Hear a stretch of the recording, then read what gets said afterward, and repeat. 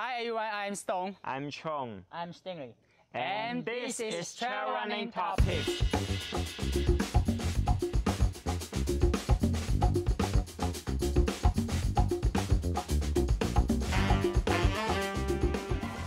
In this video, we are going to talk about how to run fast and efficient downhill.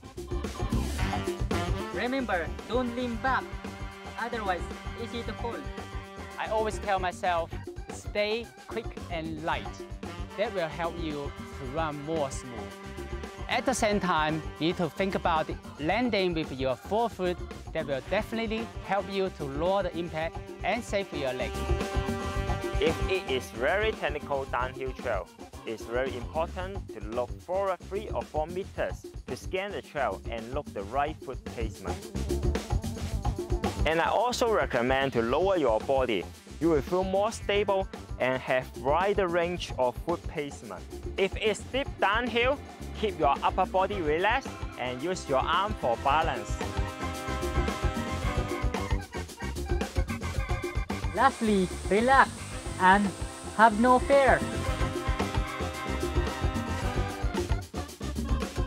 我哋开咗 team 嘅 YouTube channel 啦，一个星期一条越野跑嘅短片，密切留意我哋啦。 namin mahihaya ma. Ah, ah abangan nyo po ang YouTube namin sa isang linggo na pararating. Hit the link below and subscribe.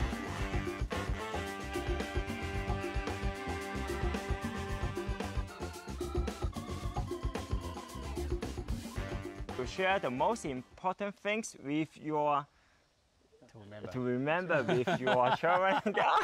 Too many.